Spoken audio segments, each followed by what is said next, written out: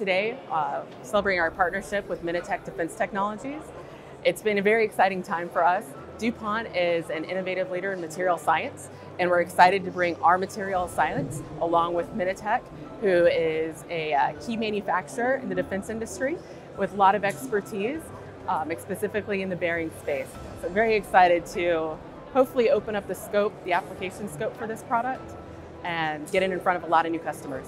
Uh, but for us, really, we're just excited to be to partner. Menatek is a fast growing company. Honestly, they have a lot of drive, uh, great innovation skills, and we see them as a very strong strategic partner for us.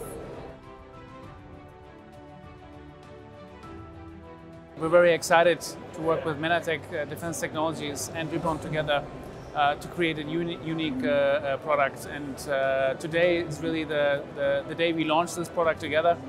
And uh, I'd like to share some thoughts around it. So a little bit of the background. utilizing DuPont's material technology and Menatek's unique exper expertise in manufacturing uh, and the um, customer insights in the defense area, but also in aerospace and others, led to this uh, um, joint collaboration. Um, maybe let me also share a little bit some thoughts on the, the product itself, what, what makes it so unique. Uh, it's, it's really a uh, self-lubricating bearing that uh, has improvements in um, maintenance cycles. Uh, it really eliminates the need for lubrication and provides uh, other wear and friction benefits uh, to customers for us really together with Menatek, what we're trying to accomplish together is, is utilize this, this unique offering uh, into the, uh, and, and uh, highlight this, this uh, innovation into the market, market space.